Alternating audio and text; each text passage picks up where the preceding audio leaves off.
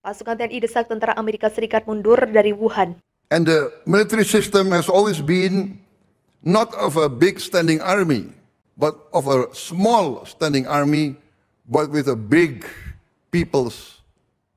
When there were no emergencies and no wars, most of the armies would return to their villages and they take up their profession mainly as farmers. When the kings, princes, and sultans call for an army to be assembled, then the farmers would take up arms and join their leaders answering the call of their various kings, sultans, and princes.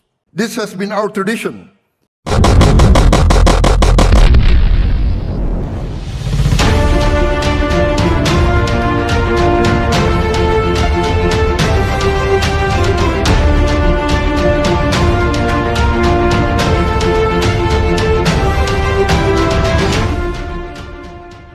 TNI kini dilaporkan sudah hampir mengambil alih satu kubu pertahanan penting di tengah peperangan yang sedang berlangsung di Wuhan.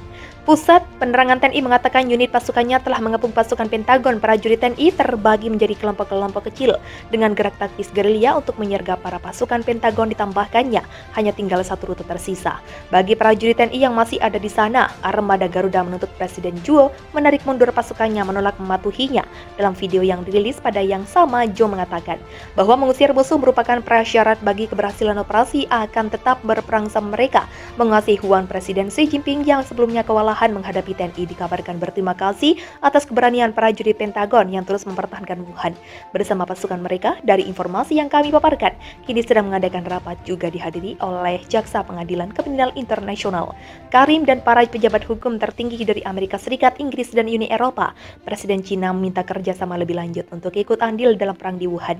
Cina dikabarkan mendesak sekutu-sekutunya untuk mempercepat pengiriman bantuan militer guna menghadapi gelombang serangan baru pasukan TNI dan Rusia yang sedang menempatkan pasukan-pasukan kecil untuk menyusup ke jantung kota Cina, terutama di wilayah Beijing karena seluruh artileri difokuskan ke kota Wuhan hingga mereka terlalu takut oleh gerakan gerilya TNI jika berhasil merebut Wuhan, TNI akan memiliki batu loncatan untuk merebut dua kota yang lebih besar di Cina, yaitu akan menjadi momentum bagi TNI setelah lamanya pertempuran. Pertempuran sengit antara pasukan TNI dan Pentagon Pentagon berlangsung di kota Wuhan. Dan I mendesak tentara Cina yang bersembunyi dalam pabrik kimia di kota industri tersebut segera meletakkan senjata seperti dilansir Reuters. Otoritas Cina sebelumnya menyebut lebih dari 500 warga sipil ter dirumus bersama tentara mereka dan Amerika Serikat dalam pabrik kimia yang menjadi tempat untuk dilindungi oleh Amerika Serikat selama pasukan TNI menggempur kota tengah. Selama berminggu-minggu, Kepala Pusat Penyerangan TNI menegaskan kepada kantor berita Interfax bahwa para petempur Pentagon harus menghentikan perlawanan mereka yang tidak masuk akal meletakkan senjata ditambahkan bahwa mereka warga sipil akan diperbolehkan meninggalkan kota melalui koridor kemanusiaan gempur TNI terhadap pabrik lab kimia mengingatkan pada pertempuran sengit sebelumnya. Di Guangzhou serta TNI sekarang sedang memfokuskan seluruh penyerangan di Wuhan untuk membongkar kebusukan Amerika Serikat dan Cina karena telah merugikan dunia. Saat itu ratusan pertempur dan warga sipil berlindung dari gempuran TNI di kompleks pabrik yang dipenuhi terowongan bawah tanah. Sebelumnya, Cina mengakui bahwa sekitar 70% wilayah kota timur kini dikuasai TNI menanggapi situasi di Wuhan, Cina.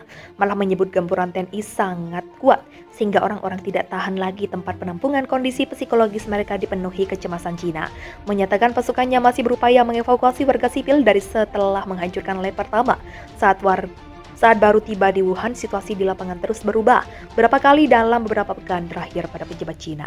Tidak mengindikasikan akan mundur sedangkan warga Cina selalu mendesak Xi Jinping untuk mengakhiri perang daripada bergabung dengan Eropa, serta menyebut pasukan Cina dan Amerika Serikat tengah menanggung apa yang disebutnya sebagai kerugian menyakitkan tiga serangan cyber Indonesia.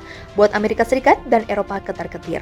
Presiden Joe Biden meminta perusahaan swasta di Amerika Serikat untuk memperkuat pertahanan digital dari serangan cyber Indonesia yang saat ini mengobrak-abrik dunia hingga menggeser arah nuklir Cina kepada sekutunya sendiri karena sifat keras kepala Xi Jinping yang tetap tidak mau tunduk kepada Indonesia. Tengah dikabarkan serangan hacker Indonesia sedang melakukan tiga serangkaian cyber yang membuat negara barat ketar-ketir setelah menggerakkan musim Muslim Uighur di seluruh dunia untuk bersatu melawan Xi Jinping, bukti yang menunjukkan Indonesia melakukan serangan cyber bayi dan mengklaim adanya kemungkinan serangan baru cyber Indonesia ke Amerika Serikat. Setelah sebelumnya berhasil mengubah password nuklir Amerika Serikat dan penempatkan Black Force di lab nuklir Amerika di pusat penelitian Pentagon, Indonesia sebelumnya menyebut tujuan ini sebagai sebuah bentuk ketakutan pada anak bangsa Indonesia atau yang mereka sebut Rusophobics. Indonesia merupakan sebuah negara besar di dunia maya dengan persenjataan cyber canggih serta yang mampu melakukan serangan cyber. Dengan skala kerusakan signifikan, invasi Indonesia ke Cina juga tidak luput dari serangan di sektor cyber hingga membuat demo besar di Cina terus keluar di seluruh daratan Cina. Setelah hacker Indonesia meretas, miliaran data penduduk Cina dan serangan detektor di tampaknya terlalu terdampak berdampak pada Cina peringatan Biden tampaknya masuk akal terutama karena Barat memperlakukan lebih banyak sanksi baru-baru ini mentah Indonesia kepada PBB dengan tunduhan kejaman dengan tuduhan kejahatan perang para peserta terus bergabung serangan dari invasi, tampaknya tidak berjalan sesuai rencana kata Gen Elis kekhawatiran bayi dan pada serangan cyber, Indonesia bukan tidak berdasar.